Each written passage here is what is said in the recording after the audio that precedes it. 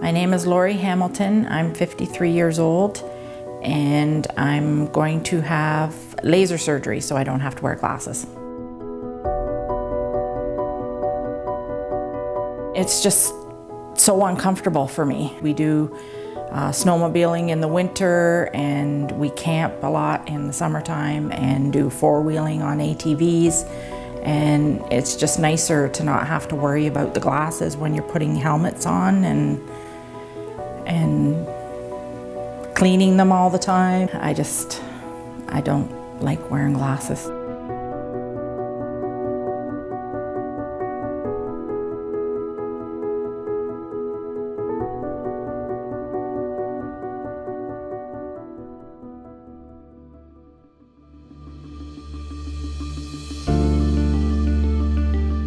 So, Lori, um, you're very nearsighted. You have really, really thick glasses. You're about a minus 12 in this eye and a minus 10 in this eye. Um, it is possible to do LASIK, but with those really high numbers, um, that's probably not the best choice for you because it makes the cornea thin at those high numbers. And secondly, around the age of 45 or 50, we start to need reading glasses, and LASIK doesn't correct for that. So the best procedure for you would be a clear lens exchange or a refractive lens exchange.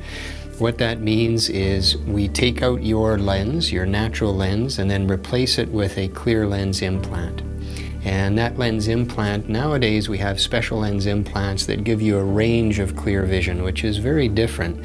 Um, it's a new class of lenses called extended depth of field lens or a Symfony lens. And what we'll do is we'll put that in, which will correct for that minus 10, minus 12 prescription that you have, and it will correct for the astigmatism that you have. I'm a little bit nervous, but mostly excited. It's been a long wait, a long time coming, and I'm just really looking forward to getting it done and getting rid of these glasses off my face. Basically what's involved, you come in, um, we put some drops in, some freezing drops, we bring you into one room, we'll do a laser treatment, just to soften up the lens um, and to make a little opening in the clear bag that holds the lens and then we'll bring you into a different room where we remove your lens and then put the lens implant in. That whole process from walking in to walking out, the whole process is about an hour, but the surgery is about 15 minutes. There's no pain. You may feel a little bit of pressure. That's totally normal, but there's no pain. We give you an intravenous, we give you a little bit of relaxing medicine. You'll feel nicely relaxed. I'll talk you through it. You're going to do great. And then we bring you into the recovery room.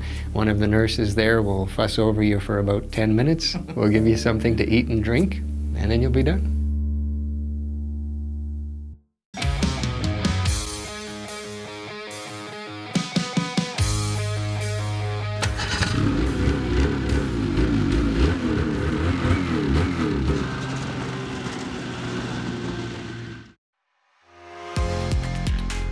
Oh, I feel absolutely amazing.